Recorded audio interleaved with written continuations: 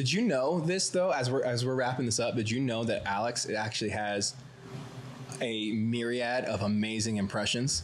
I wouldn't say myriad. He's a he's an impressionist, Impersonator? impersonator. Some would say. Impressionist? Yeah. I like that. Yeah. Like, what do you mean? Like voices? yeah. You can do Or impressions. acting? What's your yeah? What's your go-to? You have to do it. Which what is it? Because I want to hear you first. Like, not do it, but just what, what's your go-to? Uh, Pro- Probably Bobby Boucher. um, yeah, you know, Mr. Mr. Mr. Roethlisberger. Um, I appreciate you having me on, on this show. You know, I'm trying to be, but I prefer to stick to some high high quality H2O.